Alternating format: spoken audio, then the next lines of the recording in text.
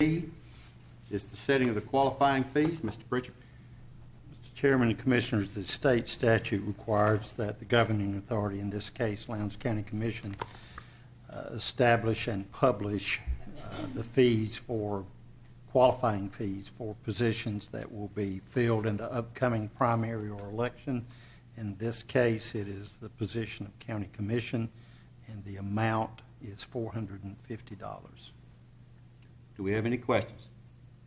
Hearing none, I'll entertain a motion. Mr. Chairman, I move that we set qualifying fees for the upcoming elections at $450. We have a motion to set qualifying fee at $450. Do we have a second? Second. We have a second. Any discussion on the motion? Hearing none, we'll call the vote. All in favor signify by aye.